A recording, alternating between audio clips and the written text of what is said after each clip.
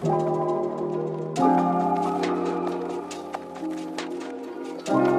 likes it when I fucked up, she gonna